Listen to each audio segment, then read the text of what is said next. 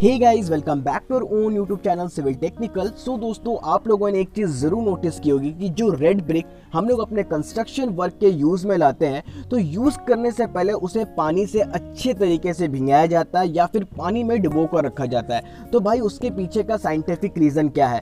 और मैं आपको बता दूँ कि ये इतना ज़्यादा इंपॉर्टेंट है ना कि अगर आप ये मिस करते हो तो फिर इसका डिसएडवांटेज बहुत सारा निकल कर आता है। तो दोस्तों, ये वीडियो काफ़ी ज़्यादा हेल्पफुल है जो अपने हाउस कंस्ट्रक्शन करवा रहे हैं या करवाने वाले वाले हैं। और फ्रेशर्स और सिविल इंजीनियर्स को तो ये चीज़ पता रहनी ही चाहिए। सो so, वीडियो में आगे बढ़ने से पहले अगर आप हमारे चैनल पर नए हो तो प्लीज़ चैनल को सब्सक्राइब करो बेलाइकन को ज़रूर से प्रेस करो। इससे आपको हमारे लेटेस्ट अपडेट हमेशा सबसे पहले मिलते रहेंगे। चलिए वीडियो को कंटिन्यू करते हैं।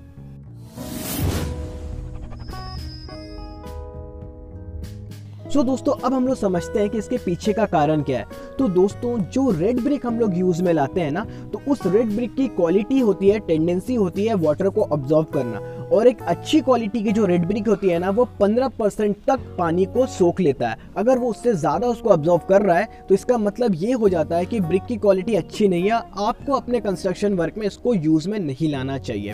दूसरा क्या है कि जो हमारा मोटार तैयार होता है, जो हमारा मसाला तैयार होता है, उसमें सैंड होता है सीमेंट होता है और हम लोग उसमें पानी डाल के उसका मिक्सचर तैयार कर लेते हैं। तो वहाँ पे आपको मालूम होगा कि जो मोटार तैयार हुआ है, उसको जो स्ट्रेंथ गेन करना है ना, वो तुरंत गेन नहीं होता है। धीरे धीरे करके वो अपनी स्ट्रेंथ को गेन करता है। और स्ट्रेंथ को गेन करने के लिए सबसे इंपॉर्टेंट फैक्टर वहाँ पे जो प्ले करता है, वो होता है हाइड्रेशन प्रोसेस और हाइड्रेशन प्रोसेस के लिए सबसे ज़रूरी होता है कि वहाँ पे नमी रहे। इसलिए हम लोग देखे हो गए आप लोग कि कंस्ट्रक्शन वर्क कंप्लीट हो जाने के बाद भी आप लोग क्या करते हो? सुबह शाम क्यूरिंग करते हो। क्यूरिंग इसीलिए किया जाता है कि आपका, जो हाइड्रेशन प्रोसेस है ना, वो कंटिन्यू रहे।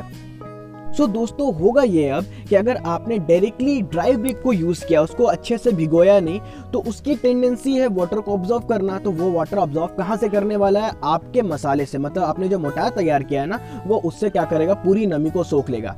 अब हाइड्रेशन प्रोसेस के लिए मैंने आपको बोला कि मॉइस्चर रहना ज़रूरी है। अब वहाँ पे मॉइस्चर नहीं है जिसकी वजह से आपका हाइड्रेशन प्रोसेस हो सकता है कि कंप्लीटली नहीं हो या फिर पार्शियल हो। और इस कंडीशन में क्या होगा ना कि इसकी जो स्ट्रेंथ मिलने वाली थी वो स्ट्रेंथ उसको नहीं मिलेगी। जाएगी। तो यही एक कंक्लूजन निकल कर ये आता है कि अगर ईट को नहीं भिंगाएँगे डायरेक्टली यूज़ करेंगे तो हमारा स्ट्रेंथ लॉस होगा। क्योंकि वहाँ पे हाइड्रेशन प्रोसेस के लिए जो नमी मौजूद होनी चाहिए, वो नहीं है और उस नमी को आपके ईट ने सोख लिया।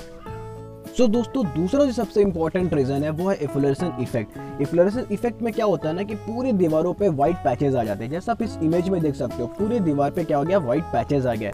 और ये होता इसलिए है क्योंकि हमारा जो रेड ब्रिक है वो मिट्टी से तैयार किया जाता है। और उस मिट्टी में व्हाइट क्रिस्टलाइन सॉल्ट प्रेजेंट होते हैं जिसकी वजह से आपको अपनी दीवारों पर ये इफ़ेक्ट देखने को मिलता है। अगर आप ईंटों की अच्छे से तराई करोगे ना तो होगा ये कि ये जो क्रिस्टलाइन मटेरियल है ना सॉल्ट जो है आपके पास, उसमें जितने कंपाउंड होते हैं ना तो उससे बहुत सारे कंपाउंड ऐसे हैं जो पानी में घुलन सील होते हैं मतलब सॉलिबल होते हैं। तो अगर आप पानी में उसको अच्छे से डुबो के रखोगे ईंटों को तो बहुत सारे कंपाउंड तो वैसे भी क्या होंगे कि पानी में घुल जाएँगे, जिसकी वजह से आपको जो ये इफ़ेक्ट है ना, वो देखने को बहुत कम मिलेगा और ये बहुत हद तक मिनिमाइज भी हो जाता है।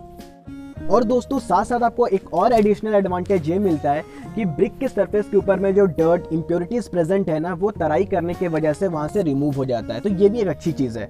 तो यहाँ पे मैंने सारे टॉपिक क्लियर कर दिए, सारे पॉइंट्स रख दिए कि ईंटों की तराई करना क्यों बहुत ज़्यादा ज़रूरी है। तो होप आप इस वीडियो को देखने के बाद कभी भी अगर रेड ब्रिक को कंस्ट्रक्शन वर्क में यूज़ में लाते हो तो आप उसकी तराई बहुत अच्छे तरीके से करने वाले हो। तो तो वीडियो होता है यहाँ पे एंड। अगर आपको स्टिल कोई कंफ्यूजन है, कोई डाउट है तो आप मुझे कमेंट करके बता सकते हो। अदरवाइज़ अगर वीडियो अच्छा लगा तो प्लीज़ वीडियो को लाइक करो चैनल को सब्सक्राइब करो और अपने दोस्तों के साथ शेयर करो। Thank you